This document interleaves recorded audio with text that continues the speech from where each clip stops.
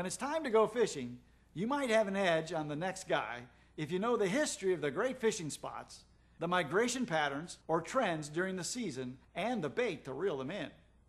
Information is important in manufacturing plants too. Trend displays provide a graphical plot of time versus the value of specific process variables and provide a valuable tool to visually display historical as well as real time values in a single window.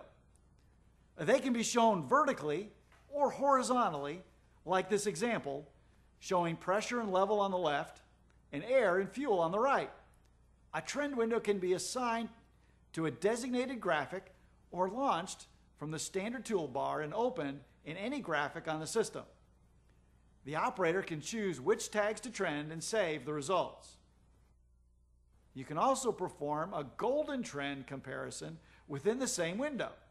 Say, for example, that you want to see how the system is performing today as compared to a day when everything was running perfectly.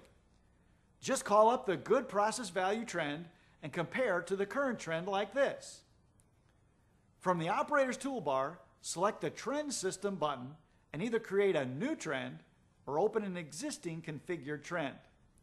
In this case, we have a pre-configured trend that displays two pen traces.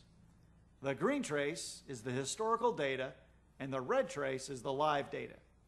It is easy to move the traces relative to each other or to go back into history, a day, a week, or years. Here's the best part. Process trends are part of the standard installation. You don't need to install any additional or optional software products. So how does that compare to a Wonderware InTouch application? You can do the same thing with InTouch, but you'll need additional cash to purchase the optional products that do not come standard with the application. And the proper deployment requires the use of the standalone InSQL server that can be quite expensive.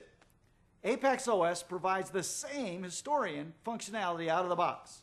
Also, APACS OS redundant servers gives you a fully redundant and synchronized historian that doesn't require special scripting or additional licensing.